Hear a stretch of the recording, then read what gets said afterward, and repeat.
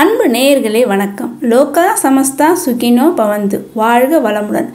இன்னைக்கு இந்த பதிவில் நம்ம எதை பற்றி பார்க்க போகிறோம்னா மகர ராசிக்காரர்களுக்கான ஒரு முக்கியமான பரிகார ஸ்தலத்தை பற்றி தான் இந்த பதிவினில் நாம் பார்க்க போகிறோம். மகர ராசி அன்பர்கள் தங்களுடைய வாழ்நாளில் ஒரு முறையாவது இந்த திருத்தலத்துக்கு சென்று வந்தால் நிச்சயமாக வாழ்க்கையில் பல மாற்றங்கள் நிகழும் என்பது ஐதீகம். மகர ராசிக்காரர்களுக்கு ஏற்படும் மிகப்பெரிய பிரச்சனைகளிலிருந்து மீண்டு வருவதற்கு இந்த திருத்தலத்தில் அருள்பாலிக்கும் மூலவர் நிச்சயம் உறுதுணையாக இருப்பார் என்பது நம்பிக்கை. அப்படிப்பட்ட ஒரு அற்புதமான சித்தர்கள் சொன்ன ஒரு ரகசிய பரிகார ஸ்தலம்தான் மகர ராசிக்காரர்கள் சென்று வர வேண்டிய சிதம்பர நடராஜர் கோயில் திருத்தலம். மகர ராசி அன்பர்கள் சிதம்பரத்தில் இருக்கும் தில்லை நடராஜர் சுவாமியை ஒரு முறை தரிசனம் செய்து வந்தாலே இதுவரை வாழ்க்கையில் இல்லாத மாற்றங்களை நிச்சயம் சந்திப்பீர்கள்.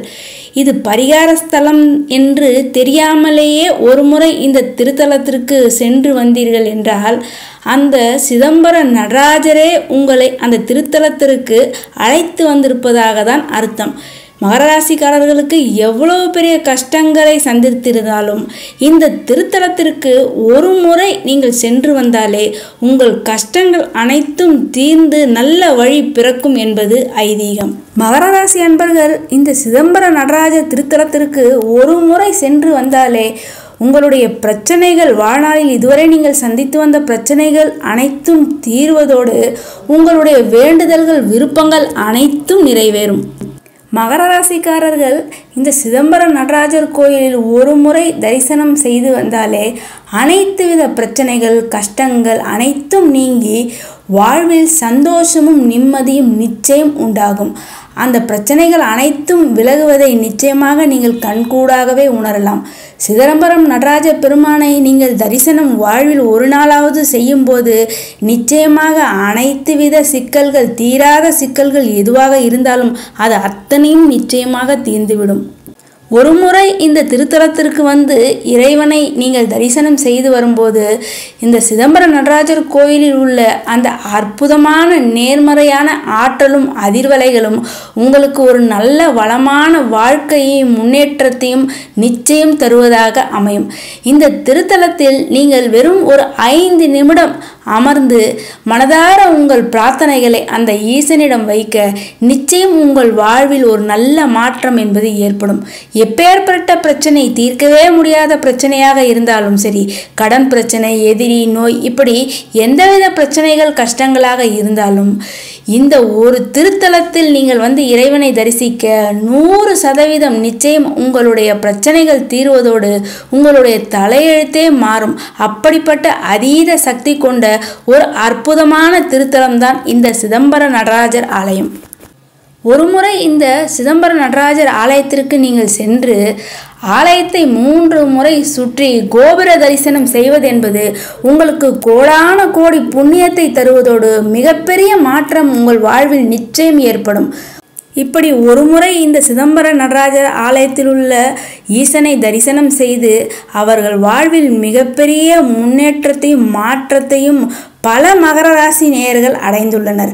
அதனால்தான் இவ்வளவு உறுதியாகவும் நம்பிக்கையுடன் சொல்கிறேன்.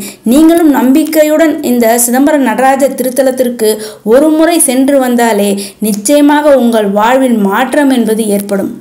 சிதம்பரம் நடராஜர் ஆலயத்திற்கு நீங்கள் சென்று அந்த ஈசனை மனதார நீங்கள் பிரார்த்தனை செய்து நீங்கள் சிவசிவ என்ற அந்த சிவநாமத்தை ஜெபித்தாலே போதும். அல்லது ஓம் நம சிவாயா என்ற அந்த பஞ்சாட்சர மந்திரத்தை சொல்லி சில நிமிடங்கள் அந்த ஆலயத்தில் அமர்ந்து வந்தாலே நிச்சயம் உங்கள் வாழ்வில் மிகப்பெரிய மாற்றம் என்பது ஏற்படும். இந்த ஆலயத்திற்கு நீங்கள் செல்லும்போது அன்றைய நாள் புதன்கிழமையாகவோ அல்லது சனிக்கிழமையாகவும் இருப்பது உங்களுக்கு கூடுதல் சிறப்பை தரும்.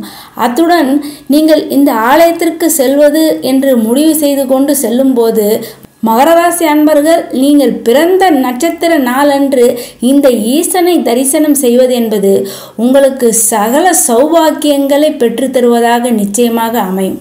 உத்திராடம் இரண்டு மூன்று நான்கு பாதங்களில் பிறந்தவர்களும் திருவோணம் ஒன்று முதல் நான்கு பாதங்களை கொண்டவர்களும் அவிட்டம் ஒன்று இரண்டு பாதங்களை கொண்ட மகராசி அன்பர்கள். நீங்கள் பிறந்த நட்சத்திரம் வரும் நாளில் அதாவது உத்திராடம் திருவோணம் அவிட்ட நட்சத்திர அந்த நாளில் நீங்கள் சென்று இந்த சிதம்பர ஈசனை தரிசனம் செய்து வருவது என்பது நூற்றுக்கு இருநூறு சதவீதம் உங்களுக்கு உடனடி பலன் தருவதாகவும் நிச்சயமாக ஒரு மாற்றம் என்பது உறுதியாக உங்கள் வாழ்வில் ஏற்படும். நம்பிக்கையுடன் சென்று இந்த ஈசனை நான் சொன்ன இந்த நாட்களில் நீங்கள் தரிசனம் செய்வதும் மேலும் மாத சிவராத்திரி அன்றைய தினத்தில் இந்த சிதம்பர ஈசனை நீங்கள் தரிசனம் செய்து வர சிறப்பான வாழ்வும் நிச்சயமாக ஒரு மாற்றமும் முன்னேற்றமும் உங்கள் வாழ்வில் ஏற்படும். இப்படிப்பட்ட பல சிறப்புகளை கொண்ட இந்த சிதம்பர நடராஜர் கோயிலுக்கு செல்ல வேண்டிய மகர ராசி அன்பர்கள் அந்த கோயிலினுடைய சிறப்பை நிச்சயம் தெரிந்து கொள்ள வேண்டும் அல்லவா? அதற்காக தான் அந்த சிதம்பர நடராஜர் கோயிலினுடைய சிறப்புகள் என்ன? அந்த சிதம்பர நடராஜ கோயிலினுடைய ரகசியம் சிதம்பர ரகசியம் என்று சொல்கிறார்களே அப்படி என்றால் என்ன? என்பதை பற்றி உங்களுக்கு நான் ஒரு சிறிய விளக்கமாக தர இருக்கிறேன். எனவே பதிவை ஸ்கிப் செய்யாமல் முழுவதுமாக இந்த பதிவை பார்க்குமாறு அன்புடன் கேட்டுக்கொள்கிறேன். திருவாரூரில் பிறந்தால் முக்தி காஞ்சியில் வாழ்ந்தால் முக்தி காசியில் இறந்தால் முக்தி திருவண்ணாமலையை நினைத்தாலே முக்தி. அதுபோல இந்த சிதம்பர நடராஜ பெருமானையும் திருமூலநாதரையும் வாழ்வில் ஒரு முறையாவது தரிசித்தாலே முக்தி கிடைத்துவிடும். பூலோக கைலாயம் என்று அழைக்கப்படும் சிதம்பர நடராஜர் கோயில் இந்த திருத்தலமானது தமிழ்நாட்டில் கடலூர் மாவட்டத்தில் உள்ள சிதம்பரம் என்னும் நகரில் அமைந்துள்ளது. பஞ்சபூத ஸ்தலங்களில் ஆகாயத்தை குறிக்கும் ஸ்தலமாக இந்த சிதம்பர நடராஜர் ஆலயம் அமைந்துள்ளது. சைவத்தில் கோவில் என்றாலே அது சிதம்பரத்தை தான் குறிக்கும். இந்த திருத்தலத்திற்கு மிகப்பெரிய சிறப்பு என்னவென்றால் இறைவன் இந்த திருத்தலத்தில் நடராஜர் என்ற உருவமாகவும் ஆகாயம் என்ற அருவமாகவும் ஸ்படிகலிங்கம் என்று அரு உருவமாகவும் அருள்பாலிக்கிறார். உலகிலேயே மூன்றாவது மிகப்பெரிய கோயில் என்றால் அது சிதம்பர நடராஜர் ஆலயத்தை தான் குறிக்கும். இந்த திருத்தலமானது சைவ குறவர்கள் நால்வர் அப்பர் சுந்தரர் சம்பந்தர் மாணிக்க வாசகர்களால் தேவார பாடல் பெற்ற சோழநாடு காவிரி வடகரை சிவஸ்தலங்களில் ஒன்றாகும். இந்த திருத்தல இறைவனை தில்லை நடராஜர் என்றும் அழைக்கிறோம். தில்லை என்பது இந்த திருத்தலத்தினுடைய தலவிருஷமாகும். மேலும் இந்த திருத்தலத்தில்தான் சேர்ந்தனார் அருள் பெற்றார். மேலும் மாணிக்க வாசகர் வியாகபாதர் முனிவர் பதஞ்சலி முனிவர் வியாச முனிவர் இவர்கள் முக்தி பெற்ற தலமும் இந்த சிதம்பர நடராஜர் திருத்தலம்தான். இந்த திருத்தலம் இரண்டாயிரம் ஆண்டுகளுக்கு முன்பாகவே தோற்றம் பெற்றதாகவும் தில்லை என்ற பெயராலேயே அதாவது தில்லை நடராஜர் என்ற பெயரிலேயே முன்னோர்கள் அழைக்கப்பட்டதாகவும் வரலாறுகள் கூறுகின்றது. முன்பொரு காலத்தில் இந்த திருத்தலத்தில் தில்லை என்னும் மரங்கள் அடர்ந்த காடாக இருந்ததால் இந்த திருத்தலம் தில்லை என்று பெயர் பெற்றது. ஆனால் தில்லை மரங்கள் இப்பொழுது சிதம்பரத்தில் இல்லை. இனி இந்த கோயிலினுடைய சிறப்பை பற்றி பார்ப்போம். இங்கு மூலவர் திருமூலநாதர் சுயம்பு மூர்த்தியாக காட்சி தருகிறார். ஆனால் நடராஜரே இங்கு பிரதான மூர்த்தியாவார். இந்த திருத்தலத்தின் தாயார் உமையாம்பிகை தல விருட்சம் தில்லை மரம். இந்த திருத்தலத்தினுடைய தீர்த்தம் சிவகங்கை வியாக்கிரபாத தீர்த்தம் ஆனந்த தீர்த்தம் பிரம்ம தீர்த்தம் திருப்பார்கடல் தீர்த்தம் என பல தீர்த்தங்கள் இந்த திருத்தலத்தில் உள்ளது. நம்முடைய முன்னோர்கள் பல மிக பிரம்மாண்டமான கற்கோயில்களை கட்டி அமைத்துள்ளனர். அதில் பல அற்புதங்கள் நிறைந்திருக்கும். அந்த வகையில் இந்த சிதம்பர நடராஜர் கோயிலில் உள்ள சில அற்புதங்களையும் ரகசியங்களையும் பற்றி அந்த சிதம்பர ரகசியம் என்று சொல்வார்கள் அல்லவா? அதை பற்றியும் இப்பொழுது நம்ம பார்க்கலாம். இந்த சிதம்பர நடராஜர் கோயில் ஆலயம் அமைந்திருக்கும் இடமானது உலகின் காந்த புலத்தின் மைய மையத்தில் அதாவது பூமத்திய ரேகையின் சரியான மைய பகுதி என்று கூறப்படுகிறது. Centre point of world's magnetic equator பஞ்சபூத ஸ்தலங்களில் இந்த திருத்தலம் ஆகாயத்தை குறிக்கும் திருத்தலம் தான் இந்த சிதம்பர நடராஜர் ஆலயம். அதேபோல் காற்றை குறிக்கும் பஞ்சபூத ஸ்தலங்களில் காற்றை குறிக்கிற ஆலயம்தான் காளஹஸ்தி ஆலயம். அதே போல நிலத்தை குறிக்கும் ஒரு ஸ்தலம்தான் காஞ்சிபுரத்தில் உள்ள ஏகாம்பரேஸ்வரர் ஆலயம். இந்த மூன்று ஆலயங்களும் அதாவது நம்ம வானிலிருந்து பார்த்தோம் ஏரியல் வியூ என்று சொல்வார்கள் இல்லையா? அப்படி பார்த்தோமே ஆனால் இந்த மூன்று ஆலயங்களும் சரியாக ஒரே நேர்கோட்டில் அமைந்திருக்கும். இந்த அதிசயத்தை நம்முடைய முன்னோர்கள் அன்றைய நாளிலேயே கணித்து சொன்னது. அதாவது அந்த நாளில் இப்பொழுது இருக்கும் அளவுக்கு எந்த ஒரு டெக்னாலஜியோ எக்யூப்மெண்ட் கருவிகளோ எதுவுமே அந்த நாளில் கிடையாது. அப்படிப்பட்ட ஒரு காலகட்டத்திலேயே நம்முடைய முன்னோர்கள் துல்லியமாக கணித்து சொன்னது என்பது பொறியியல் புவியியல் மற்றும் வானவியலினுடைய ஒரு உச்சக்கட்ட அதிசயம் என்று சொன்னாலே அது மிகையாகாது. அதே போல் இந்த சிதம்பரம் நடராஜர் ஆலயமானது நம்முடைய மனித உடலை அடிப்படையாக கொண்டே அமைக்கப்பட்டிருக்கும். சிதம்பர கோயிலில் ஒன்பது நுழைவு வாயில்களும் நம்முடைய மனித உடலில் உள்ள ஒன்பது வாயில்கள் அதாவது துவாரங்களை குறிப்பதாக அமைந்திருக்கும். அந்த சிதம்பர நடராஜர் ஆலயத்தில் விமானத்தின் மேலிருக்கும் அந்த பொற்கூரையானது இருபத்தி ஓராயிரத்து அறுநூறு தங்க தகடுகளை கொண்டு வேயப்பட்டுள்ளது. இது மனிதன் ஒரு நாளைக்கு சராசரியாக இருபத்தி ஓராயிரத்து ஆறுநூறு முறை சுவாசிக்கிறான் என்பதை குறிக்கிறது. இந்த இருபத்தி ஓராயிரத்தி ஆறுநூறு தகடுகளை வேய்வதற்கு எழுபத்தி ரெண்டாயிரம் தங்க ஆணிகள் பயன்படுத்தப்பட்டுள்ளது. இந்த எழுபத்தி ரெண்டாயிரம் ஆணிகளினுடைய எண்ணிக்கை என்பது மனித உடலில் இருக்கும் ஒட்டுமொத்த நரம்புகள் நாடிகளை குறிக்கிறது. இதில் கண்ணுக்கு தெரியாத உடலின் பல பாகங்களுக்கு சக்தியை கொண்டு சேர்ப்பவையும் அடங்கும். திருமந்திரத்தில் திருமூலர் மனித வடிவில் சிவலிங்கம் அதுவே சிதம்பரம் என்று கூறுகிறார். அதாவது சிதம்பரத்தில் சிவபெருமானுடைய உருவத்தில்தான் மனிதன் பிரதிபலிக்கிறார் என்று திருமூலர் கூறுகிறார். இந்த சிதம்பரம் நடராஜ ஆலயத்தினுடைய மற்றும் ஒரு சிறப்பு என்னவென்றால் நடராஜர் சந்நிதி அருகிலேயே நூற்றி எட்டு திவ்ய தேசங்களில் ஒன்றான கோவிந்தராஜர் பெருமாள் தலமும் இருப்பது மிகவும் விசேஷமாக கருதப்படுகிறது. சிவன் விஷ்ணு என இருவருடைய சந்நிதிகளும் ஒரே இடத்தில் நின்று தரிசிக்கும்படி அமைந்திருப்பது இந்த கோயிலினுடைய மிகப்பெரிய ஒரு தனி சிறப்பாகும். மேலும் பிரம்மா விஷ்ணு சிவன் ஆகிய மும்மூர்த்திகளும் கோயில் கொண்ட ஒரு திருத்தலமாக இந்த சிதம்பர நடராஜர் ஆலயம் விளங்குகிறது. சிவனுக்கும் சக்திக்கும் நடந்த போட்டி நடனத்தில் ஆடிய தில்லை காளி கோவில் இந்த நடராஜர் கோயில் அருகிலேயே அமைந்துள்ளது. இந்த சிதம்பரம் நடராஜர் கோயில் ஆலயமானது ஐம்பத்தி ஓர் ஏக்கர் நிலப்பரப்பில் அமைந்த ஒரு பிரம்மாண்டமான சிவஸ்தலம் என்றால் அது சிதம்பரம் நடராஜர் ஆலயம் என்றே சொல்லலாம். கட்டடக்கலைக்கு ஒரு மிக சிறந்த எடுத்துக்காட்டாக இந்த சிதம்பரம் நடராஜர் ஆலயம் அமைந்துள்ளது. நடராஜரினுடைய பஞ்ச சபைகளில் இது சிற்றம்பலம். இந்த கோயிலில் இறைவன் ஐந்து சபைகளாக அதாவது பஞ்ச சபை என்று சொல்வார்கள் அல்லவா? சிற்றம்பலம் பொன்னம்பலம் அதுதான் கனக சபை என்று சொல்வார்கள். பேரம்பலம் நிறுத்த சபை ராஜசபை என ஐந்து சபைகள் மன்றங்கள் உள்ளது. இந்த சிதம்பர நடராஜர் கோயிலினுடைய எட்டு திசைகளிலும் சாஸ்தாவின் எட்டு அவதாரங்கள் பிரதிஷ்டை செய்யப்பட்டுள்ளது. அந்த அவதாரங்கள் எதுவென்று பார்த்தோமேயானால் மகா சாஸ்தா ஜெகன்மோகன சாஸ்தா பால சாஸ்தா கிரதா சாஸ்தா தர்ம சாஸ்தா விஷ்ணு சாஸ்தா பிரம்ம சாஸ்தா ருத்ர சாஸ்தா என்று இந்த எட்டு அவதாரங்கள் எட்டு திசையிலும் பிரதிஷ்டை செய்யப்பட்டுள்ளது. இந்த சிதம்பரம் நடராஜர் ஆலயத்தில் பொன்னம்பலம் சற்று இடதுபுறமாக சாய்ந்தவாறு அமைக்கப்பட்டிருக்கும். இது நமது உடலில் இதயத்தை குறிப்பதாக அமைந்துள்ளது. இந்த பொன்னம்பலத்தை அடைய ஐந்து படிகளை ஏற வேண்டும். இந்த படிகளை தான் பஞ்சாட்சரப்படி என்று அழைக்கிறார்கள். அதாவது நமச்சிவாயா என்ற அந்த ஐந்து எழுத்தை பிரதிபலிப்பதாக இது அமைந்திருக்கும். கனகசபை மற்ற கோயில்களில் இருப்பதைப் போன்று நேரான வழியாக இல்லாமல் பக்கவாட்டில் இருப்பதாக அமைந்திருக்கும். இந்த கனக சபையை தாங்குவதற்காக நான்கு தூண்கள் அமைந்திருக்கிறது. இந்த நான்கு தூண்களும் நான்கு வேதத்தை குறிப்பதாக அமைந்துள்ளது. பொன்னம்பலத்தில் இருபத்தி எட்டு தூண்கள் உள்ளது. இவை இருபத்தி எட்டு ஆகமங்களையும் சிவ வழிபாட்டில் உள்ள இருபத்தி எட்டு சிவ வழிபாட்டு முறைகளையும் குறிப்பதாக இந்த தூண்கள் அமைந்துள்ளது.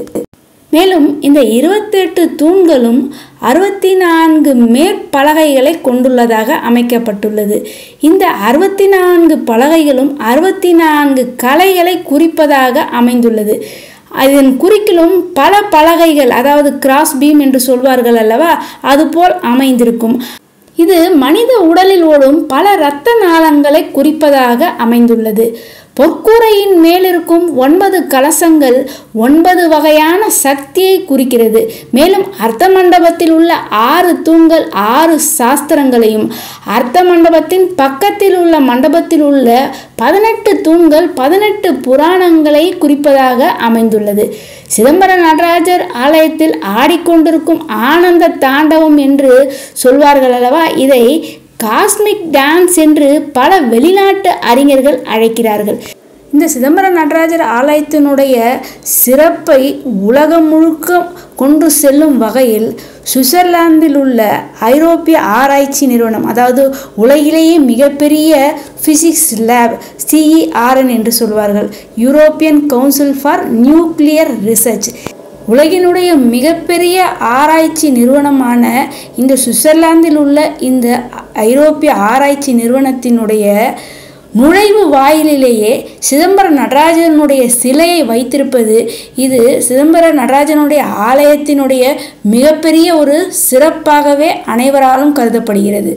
மேலும் இந்த சிதம்பர நடராஜர் ஆலயமானது காந்த ஈர்ப்பு விசையினுடைய மையத்தில் அமைந்திருப்பதால் இந்த ஆலயத்திற்கு மேல் எந்த ஒரு சேட்டிலைட் பறந்தாலும் அது செயலை இழந்து விடுகிறது. அடுத்ததாக இந்த சிதம்பரம் நடராஜர் திருத்தலத்திற்கு வரும் பக்தர்கள் பெரும்பாலானோர் சிதம்பரம் கோயில் என்றாலே மூலவர் என்றாலே அது நடராஜர் தான் என்று நினைப்பார்கள். கோயிலுக்குள் நுழைந்த உடனேயே நடராஜர் சந்நிதியை தான் தேடி ஓடுவார்கள். ஆனால் இந்த திருத்தலத்தில் மூலவர் லிங்க வடிவில் ஆதி மூலநாதர் என்ற பெயரில் அருள்பாலிக்கிறார். பதஞ்சலி முனிவர் வியாக்கிரபாத முனிவர் கைலையில் தாங்கள் கண்ட சிவனுடைய நாட்டிய தரிசனத்தை பூலோக மக்களும் காண வேண்டும் என்று விரும்பினார்கள். எனவே அவர்கள் இந்த திருத்தலத்திற்கு வந்து ஆதிமூலநாதரை வேண்டி தவம் செய்தனர். இந்த முனிவர்களுடைய வேண்டுதலை ஏற்ற சிவபெருமான் திரிசகசர முனிவர்கள் என்பவரை கைலையிலிருந்து சிதம்பரத்திற்கு வரவழைத்து தை மாத பூச நட்சத்திரத்தில் நாட்டிய தரிசனம் தந்து சிவபெருமான் அருள்பாலித்தார்.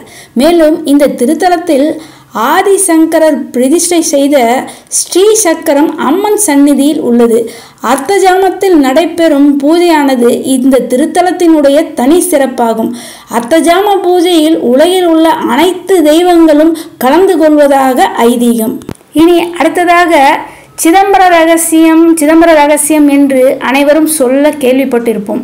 அந்த சிதம்பர ரகசியம் என்ன என்பதை பற்றி இப்பொழுது பார்க்கலாம்.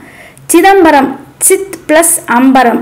சிதம்பரம். சித் என்றால் அறிவு அம்பரம் என்றால் வெட்டவெளி. மனிதனே உன்னிடம் ஒன்றுமே இல்லை என்பதுதான் அந்த ரகசியத்தினுடைய பொருள். சித்திர சபையில் சபாநாயகனுடைய வலப்பக்கத்தில் உள்ளது ஒரு சிறிய வாயில். இதில் உள்ள திரையை அகற்றி ஆரத்தி காட்டப்படும். இதனுள்ளே திருவுருவம் எதுவுமே இருக்காது. தங்கத்தாலான வில்வ தலமாலை ஒன்று மட்டுமே காட்சியளிக்கும். மூர்த்தி இல்லாமலேயே வில்வதளம் மற்றும் அங்கு தொங்கப்பட்டிருக்கும். இதன் ரகசியம் இறைவன் இங்கு ஆகாய உருவில் இருக்கிறார் என்பதுதான். ஆகாயத்திற்கு ஆரம்பமும் கிடையாது முடிவும் கிடையாது. இறைவனை உணரத்தான் முடியும் என்பதே இதனுடைய அர்த்தம். எனவேதான் பஞ்சபூத ஸ்தலங்களில் சிதம்பரம் ஆகாய ஸ்தலமாக விளங்குகிறது. சிதம்பர ரகசிய ஸ்தானத்தில் அம்மனுக்குரிய ஸ்ரீ சக்கரத்தையும் சிவனுக்குரிய சிவ சக்கரத்தையும் இணைத்து ஒன்றாக பிரதிஷ்டை செய்துள்ளதாக ஒரு தகவல் இருக்கிறது. இந்த சக்கரத்தில்தான் நடராஜ பெருமான் ஐக்கியமாகி தன் ஆனந்த நடனத்தால் இந்த உலகை படைத்து காத்து மறைத்து அழித்து அருள்பாலித்து கொண்டிருக்கிறார். அடுத்ததாக இந்த சிதம்பரம் நடராஜர் ஆலயத்தினுடைய மற்றும் ஒரு சிறப்பு என்னவென்றால் இந்த திருத்தலத்தில் மட்டும்தான் மூலவரே வீதி வலம் வருவது இங்கு மட்டுமே தான் காண முடியும். அதாவது மற்ற ஆலயங்களில் உற்சவரே வீதி வலம் வருவார். ஆனால் இந்த சிதம்பரம் நடராஜர் ஆலயத்தில் மூலவர் வீதி வலம் வருவதை காண்பதற்காக உலகம் இருந்து ஏராளமான பக்தர்கள் திரண்டு வருவது வழக்கம். பல வெளிநாட்டவர்களும் இந்த திருவிழா காட்சியை காண்பதற்காக இந்த நடராஜனுடைய சிறப்பை காண்பதற்காகவே இந்த திருத்தலத்திற்கு இன்றளவும் வந்து கொண்டிருக்கிறார்கள். இங்குள்ள ஈசனை வழிபடுபவர்களுக்கு மன நிம்மதி என்பது நிச்சயமாக கிடைக்கும். மேலும் உடல் சம்பந்தமான எந்த நோயாக இருப்பினும் அவை அனைத்தும் பரிபூர்ணமாக குணமடைகிறது. கலைகளில் தேர்ச்சி பெற விரும்புபவர்கள் இந்த ஆலயத்திற்கு ஒரு முறை வந்து பிரார்த்தனை செய்து கொண்டால் அவர்கள் விரும்பிய வண்ணமே சிறப்பான எதிர்காலம் என்பது அவர்களுக்கு நிச்சயமாக அமையும். மேலும் குழந்தை வரம் விரும்புபவர்கள் குடும்ப ஒற்றுமைக்காகவும் குடும்ப ஐஸ்வர்யங்கள் சிறப்பதற்காகவும் இந்த ஆலயத்திற்கு வந்து தரிசனம் செய்து இறைவனை பிரார்த்தனை செய்து கொண்டால் அவர்கள் வேண்டுதல்கள் அனைத்துமே விரைவிலேயே சித்தியாகும். அன்பு நேயர்களே இந்த சிதம்பர நடராஜ பெருமானுடைய இந்த சிறப்புகளை நீங்கள் இதுவரை கேட்பது என்பதே அந்த ஈசனுடைய அருள் இருந்தால் மட்டுமே இதை நீங்கள் முழுவதுமாக கேட்க முடியும். மேலும் இந்த சிறப்பான இந்த தகவல் மற்றவர்களையும் சென்றடைய உங்களுடைய உற்றார் உறவினர் நண்பர்கள் அனைவருக்கும் இந்த பதிவை ஷேர் செய்வதுடன் இதுவரை சப்ஸ்கிரைப் செய்யாத அன்பர்கள் சப்ஸ்கிரைப் செய்து பெல் பட்டனை அழுத்தி தொடர்ந்து இணைந்து ஆதரவு தர அன்புடன் கேட்டுக்கொள்கிறேன்.